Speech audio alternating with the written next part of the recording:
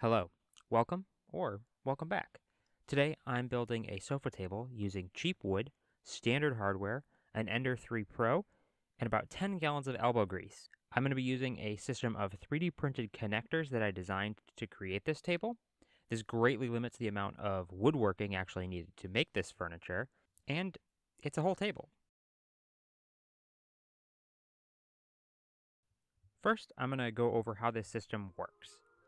To start with, it can build a whole lot of different tables, but today I'm just building a sofa table because that's what I need for my house.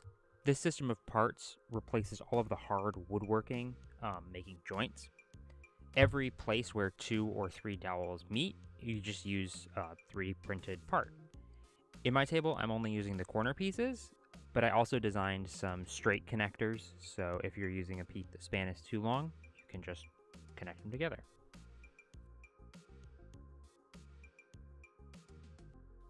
Each joint uses three pieces, a top, a bottom, and a retaining ring. I also designed two corner pieces, uh, one with a longer vertical portion and one with a shorter vertical portion. The shorter vertical portion is used right under the tabletop so that um, some little U brackets can go into the into the table surface and hold it in place. These are designed to fit on one inch dowels as those are really common and pretty cheap where I live. Also, one disclaimer about this furniture, it's still held together at the corners by 3D printed parts, so use your best judgment. Once you have your pieces picked out and your dimensions uh, all set, it's really just a big K'NEX set of printing the pieces and bolting it all together. I printed all of these parts in PLA, but if I were going to make this again, I would print them out of PETG. The Ender 3 handles PETG really well, so the extra performance would be good in this application. This is mainly because after a while I did start to see some cracking in the initial PLA parts. Um, I made a few design changes and printed some tests in PLA and PETG, and under load I didn't see any more cracking. Real quick, let's take a look at how each of these corners go together. So here is a small sample piece. So the retaining ring goes on the bottom, and then the lower bracket and then the upper bracket just slide onto the dowel. Um, you'll notice I am struggling with these a bit. I have increased the tolerance for the models I am publishing. But then the retaining ring is bolted together to hold the pieces in place, and then the pieces are bolted together with the uh, perpendicular dowels in place.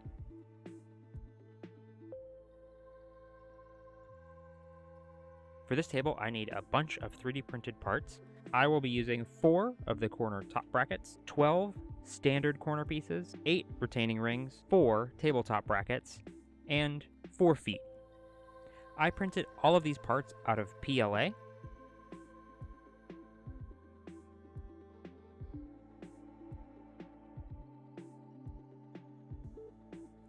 For hardware, I am using M3 black oxide bolt, and for the top, I just used a edge glued pine board. I'm sure that's enough talking, so let's go ahead and stick the whole thing together.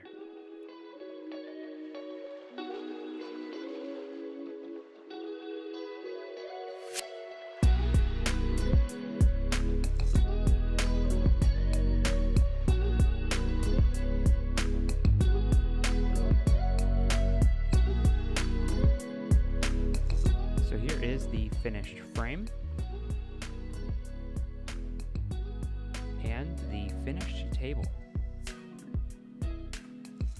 Here it is in place. If you make something using this system, let me know. Uh, tag me on Instagram, tweet at me on Twitter. I will put an instructable with uh, some more details and documentation in the description. But let me know. I'd love to see what you guys make. Thanks for watching.